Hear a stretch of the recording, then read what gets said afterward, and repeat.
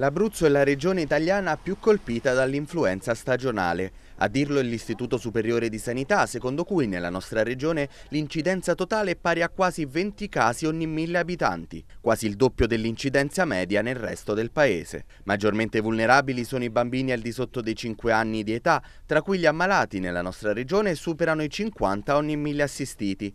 In ogni caso, fa sapere l'Istituto Superiore di Sanità, l'incidenza è aumentata in quasi tutte le regioni italiane, sono state 638.000 le persone che in Italia hanno preso l'influenza influenza nella settimana tra il 20 e il 26 di gennaio.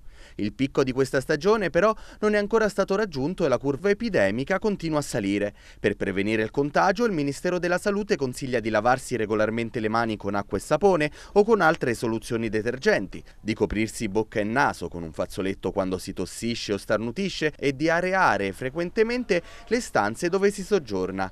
Inoltre l'invito del Ministero è a rimanere a casa quando possibile, di non recarsi a scuola o al lavoro quando si è malati. Seppure il periodo ottimale sia ormai scaduto e sia già iniziata la stagione influenzale, si può sempre ricorrere alla vaccinazione. Vaccinarsi, sottolinea il Ministero, non induce nei vaccinati alcuna malattia cronica né ne aggrava il decorso. L'immunizzazione annuale con il vaccino influenzale, si legge sul sito ufficiale, è un'importante pratica di sanità pubblica che deve essere continuata e incoraggiata. Si specifica inoltre che i vaccini sono controllati affinché siano omologati agli standard previsti dalle autorità nazionali nazionali e internazionali, con l'Organizzazione Mondiale della Sanità in primis.